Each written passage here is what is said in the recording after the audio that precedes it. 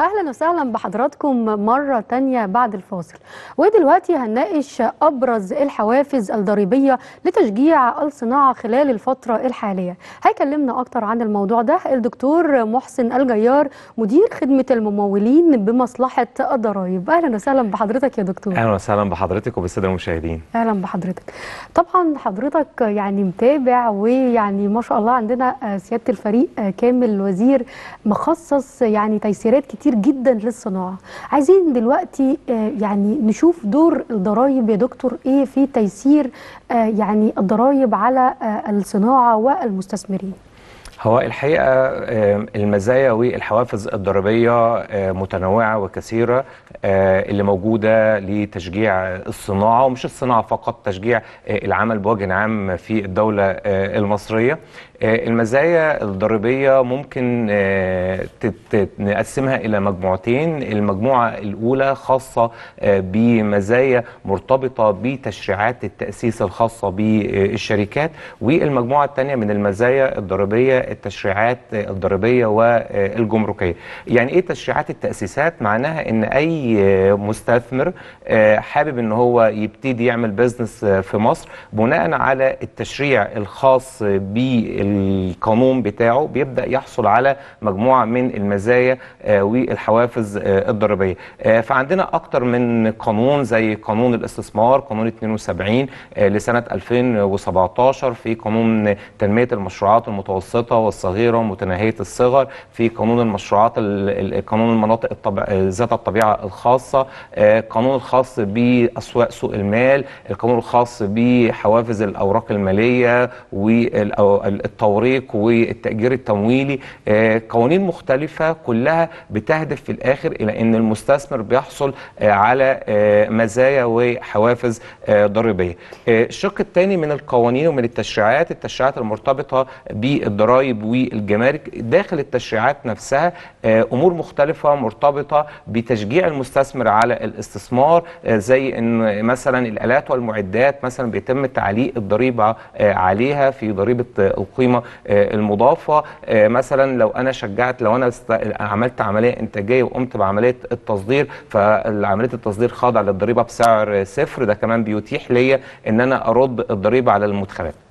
دكتور محسن خلينا يعني عايز أعرف من حضرتك إيه أبرز العقبات من النواحي الضريبية اللي كانت بتواجه المستثمرين؟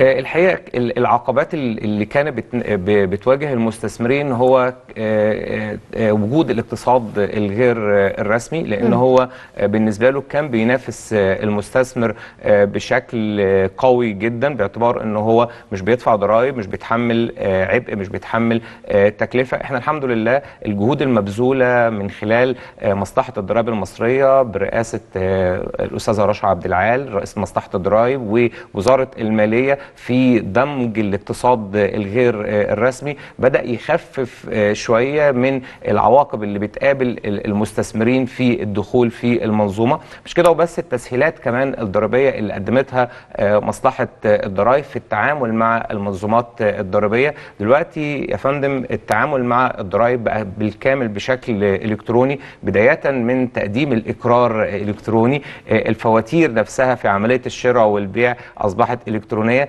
الإيصالات في تعامل المنشأة مع المواطن مباشرة أصبح إيصال إلكتروني منظومة توحيد أسس واحتساب الأجور والمرتبات أصبحت بشكل إلكتروني فده سهل كتير جدا من التعامل مع المنظومات الضريبية خلاف المعاملات الضريبية كلها السداد الإلكتروني والفحص الإلكتروني والمعاملات الإلكترونية بشكل كامل ده خفف كتير جدا من العقبات. اللي بتقابل المستثمر مع مصلحة الضرائب آه يعني نسهلها أكتر للساده المشاهدين. الاقتصاد الغير رسمي اللي هو آه يعني أنا دلوقتي آه أنا عندي مشكله ان أنا آه ماشي أنا بقدم اقرارات ضريبيه والكلام ده كله لكن أنا عندي مصروفات ما بقدرش اثبتها بالفعل للضرايب. داخل اخد بنزين قاعد في كافيه رحت لدكتور.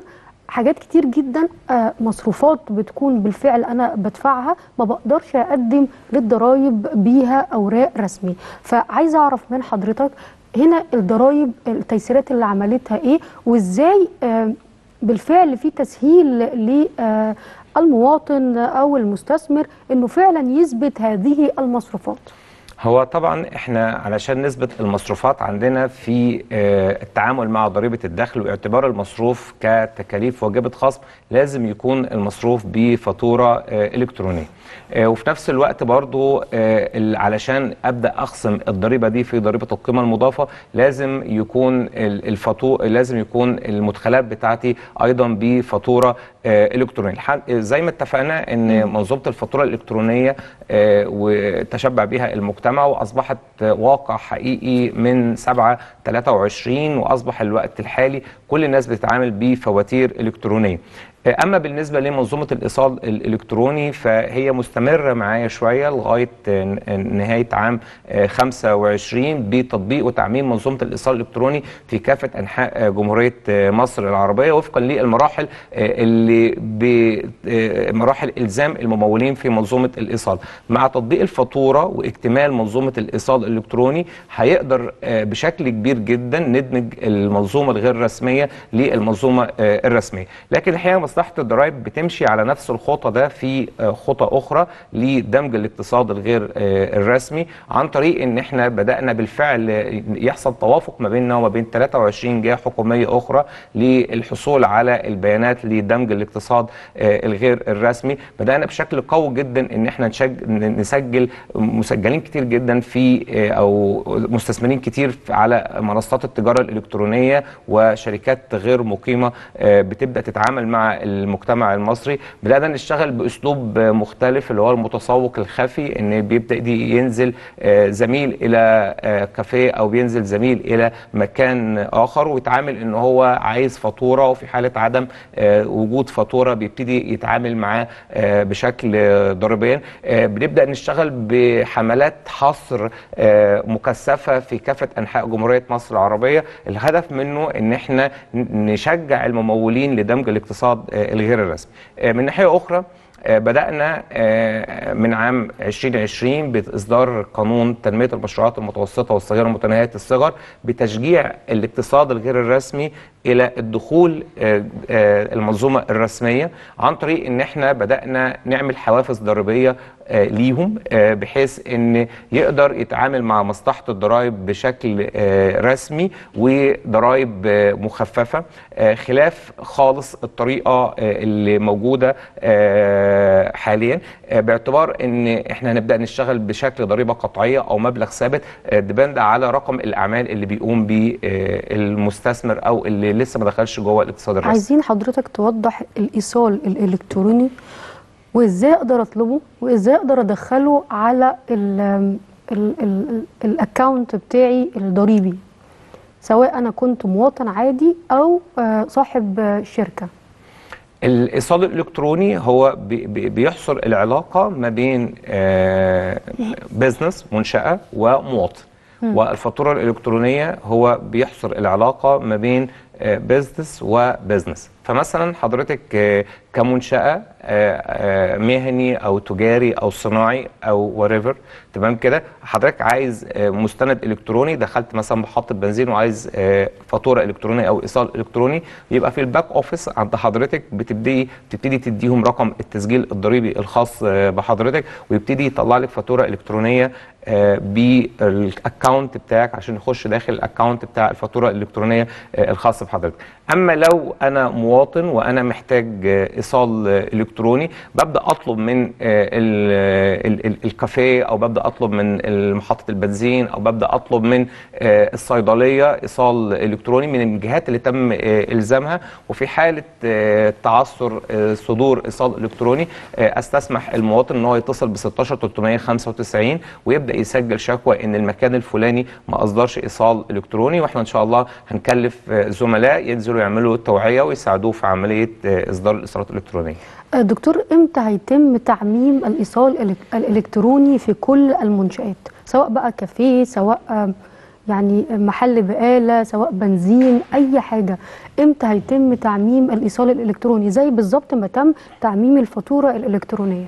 وفقا للخطة المدرجة إن آخر مرحلة لمنظومة الإيصال الإلكتروني هيتم تطبيقها في 15 10 سنة 25 حلو السنة الجاية إن شاء الله. إن شاء الله.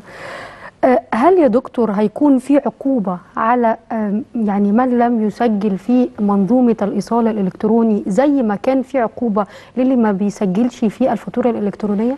آه طبعا العقوبة موجودة آه سواء لمنظومة الفاتورة أو منظومة الإيصال الإلكتروني وده موجود في قانون الإجراءات آه الضريبية الموحد وبتصل آه العقوبة لغرامة من 20000 إلى آه 100000 جنيه وبمناسبة آه كلام حضرتك إحنا كانت توجيهات آه رئاسة المصلحة عندنا مم. إلى إن علشان نعمم إصدار الفواتير الإلكترونية في بعض الممولين أو المسجلين أو المتعاملين مع مصلحة الضرائب تأخر في الانضمام إلى منظومة الفاتورة آه، الإلكترونية وبالفعل تم التواصل آه، معاهم وتم توعيتهم وهم في طريقهم إلى التسجيل إلى منظومة الفاتورة الإلكترونية. لكن الحقيقة اللي بيتعنت واللي مش هينضم إلى منظومة الفاتورة الإلكترونية هنبتدي ناخد الإجراءات آه، القانونية بإحالته للنيابة لتوقيع الغرامة عليه.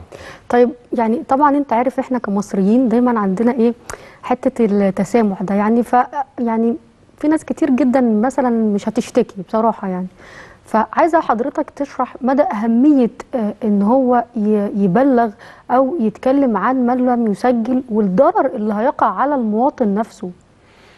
إحنا دايما بنقول إن إحنا في آه، مصلحة الضرائب هدفها آه، تحقيق الامتثال الضريبي للممولين وإن إحنا نحقق العدالة آه، الضريبية. لأن إحنا مؤمنين جدا في مصلحة الضرائب إن حصيلة الضرائب بيتم استخدامها في تمويل الموازنة العامة للدولة. ومعنى إن أنا باخد ضرائب عشان أمول بها الموازنة العامة للدولة فمين اللي بيدفع الضرائب؟ هو الاقتصاد الرسمي. طب مين اللي ما بيدفعش الضرائب هو الاقتصاد الغير الرسمي. وبالتالي المواطن أو المستثمر في الاقتصاد الرسمي هو اللي بيتحمل عبء ضريبته وعبء ضريبة غيره. فبالتالي أنا لازم المواطن لازم كافة أطراف المجتمع تبدأ تشجع آه، أو تدعمنا في آه، للوصول للمنظومات الغير آه، رسمية خلاف الطرق اللي أنا ذكرتها لحضرتك في البداية لتحقيق العدالة الضريبية لتحقيق إن أنا أبدأ آه، آخد ال- الضرائب المستحقة من الاقتصاد الغير الرسمي وأبتدي أمول بيه آه، الموازنة العامة للدولة. آه، المصرية. آه، دكتور آه، محسن عايزة من حضرتك نصائح ل آه، المصنعين والمستثمرين وكمان المواطنين بالنسبة للنواحي الضريبية. هو طبعا إحنا آه، بالنسبة للمستثمر والمصنع والتاجر ومقدم آه، الخدمة آه، أنصحه بالامتثال الضريبي آه، أنصحه بالتعامل مع المنظومات الضريبية الإلكترونية بشكل قوي جدا. آه، إحنا بنستخدم أساليب توعية مختلفة آه، تقدر من خلال حضرتك آه، إنك أنت كراجل أعمال أو كصاحب بزنس تقدر تتواصل مع مصلحة الضرائب آه، المصرية. آه، آه، بالنسبة للمواطنين إن أنصحه إنه أي شراء بيقوم بيه لازم يشتري بفاتورة آه، إلكترونية أو يشتري بإيصال آه، إلكتروني ده بيساعدنا جدا جدا في آه، دمج المنظومات الغير رسمية أو الاقتصاد الرمادي إلى المنظومة آه، الرسمية والتنمية مش هتتم إلا لما مستوى الاقتصاد الغير الرسمي يقل والمنظومات الرسمية هي اللي هتزيد.